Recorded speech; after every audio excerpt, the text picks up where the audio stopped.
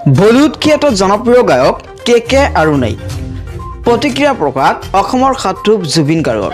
আকস্মিতে মৃত্যুক সাৱটি ল'ব লগা হ'ল গায়ক কৃষ্ণ কুমাৰ কুন্নাতে। কলিকতাৰ গুৰুদাস মহাবিদ্যালয়ৰ এক অনুষ্ঠানৰ বাবে নজৰুল মঞ্চত সংগীত প্ৰদৰ্শন কৰি থকাৰ সময়তে অসুস্থ হৈ পৰে শিল্পীগৰাকী। চিকিৎসালয়লৈ নিয়া হয় যদিও মৃত্যু ঘোষণা কৰে চিকিৎসকে। নমস্কাৰ আপোনালোকে চাইছে টাইমছ গোৱালপাৰা আৰু আজি মই আপোনালোকৰ বাবে আহিছোঁ এটা ডাঙৰ খবৰ।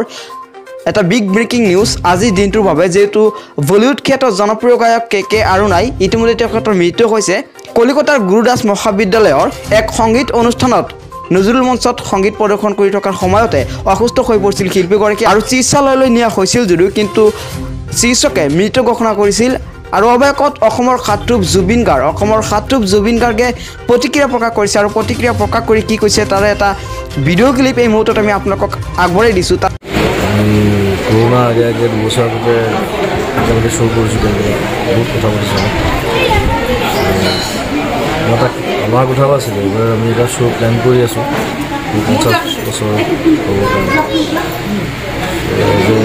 লিষ্ট এপিয়াৰেঞ্চ সি আহিম বুলি কৈছিলে। এইটো আমাৰ কাৰণে ডাঙৰ ক্ষতি আছিলে মানে কে কে আমাৰ অকণ বেলেগ কে মই চাম আমি